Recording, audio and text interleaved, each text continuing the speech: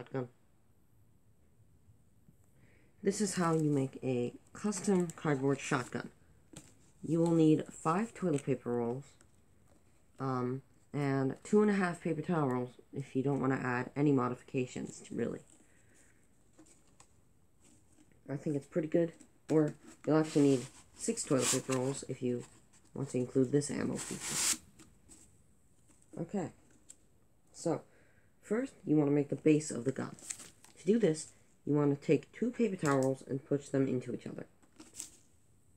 Then you'll want to cut a square-shaped hole on the bottom at the back and place a toilet paper roll on it. You'll want to tape that on securely so it isn't wobbling around.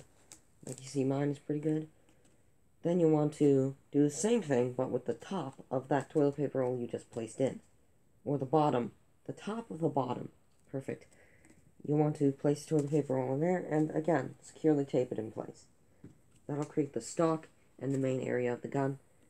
Then, a little bit of above that, like about one and a half inches, um, you'll want to add a the actual grip where you hold and have the trigger. You just have to cut a square-shaped hole very easily. Make sure it's big enough where it can fit, but small enough so it doesn't fall out. You want to tape that up, and that's basically it for the body. Except for the front, where you'll just want to cut a paper towel in half and just add it onto the front. Pretty easy. Then you want to add uh, this. This is the like the loading mechanism of the shotgun. You go back, forth, and it locks. Um, so what you want to do is you want to cut a toilet paper roll in half, and then you want to take the top of that toilet paper roll, um, where the two sides are cut, and you want to cut a small rectangular shape out of each side. Then you want to use those cut out pieces and tape them around this while it's on the gun. You want to do that on both sides so it's tight. Tight enough where it doesn't fall off, but but loose enough where it can slide. Then, you want to add this feature. This is where you store your ammo, or load your ammunition, and that's just by, done by cutting a toilet paper roll, making sure it's um, making sure it can bend like this, and just placing it on there, taping it on, and that's it. Pretty easy.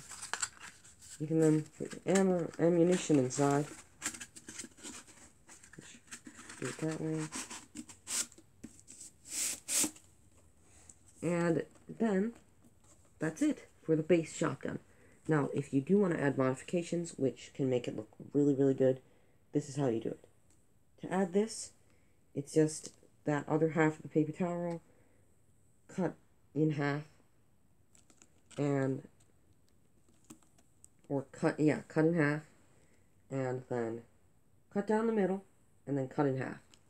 You put that on top of here and then you use those some of the pieces from the other paper towel roll and you cut those and put them on there. This basically looks like a thing where you can add attachments and stuff like that and it looks pretty good.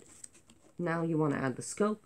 If you do you just cut it to a toilet paper roll like one inch or 2.5 centimeters and then you want to cut it again on the top and squish it until it's a smaller size. As you can see it's smaller than a regular toilet paper roll. You can then tape that in place on the size you want and then you can grab a little piece of that toilet paper roll and just cut the remaining piece of the toilet paper roll a little thin strip and you want to tape you want to bend it so part of it goes onto the top and some on the bottom. That makes sure it's super secure. You want to take those on and that's just the sight it looks good.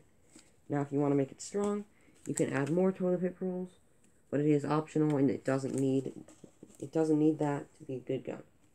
Anyway this is how you made a shotgun and I hope you enjoyed and found this very helpful. Goodbye.